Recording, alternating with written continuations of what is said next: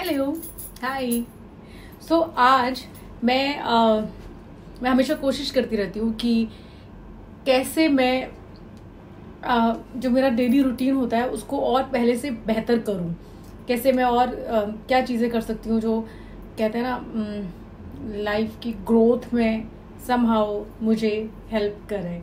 And जो आज का मेरा सैलड है जो मेरा डिनर है that's without garlic and onion तो मेरा बिकॉज़ मैं आ, मैं हनुमान जी को बहुत मानती हूँ और आ, मैंने जितने भी um, धार्मिक किताबें पढ़ी हैं उसमें लिखा है कि आ, अच्छा होगा अगर अगर आप हनुमान जी की पूजा कर रहे हैं तो आप लहसुन प्याज छोड़ दें। खैर इसका कुछ आ, uh, ये बहुत तर्क वाला विषय है और मैं किसी भी आ, कहते हैं ना पक्ष के फेवर में नहीं हूँ कि खाना चाहिए कि नहीं खाना चाहिए। मुझे लगता है ये आपकी अपनी पर्सनल चॉइस है।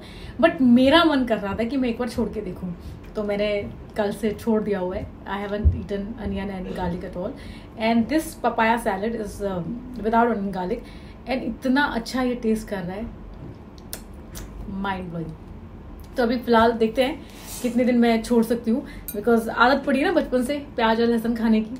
सो so, एक तो मैं वो करना चाहती हूँ जो मैंने शुरू कर दिया है। और दूसरी चीज़ कि सनराइज सनसेट के बाद मैं बिल्कुल भी कुछ भी नहीं खाना पीना चाहती हूँ।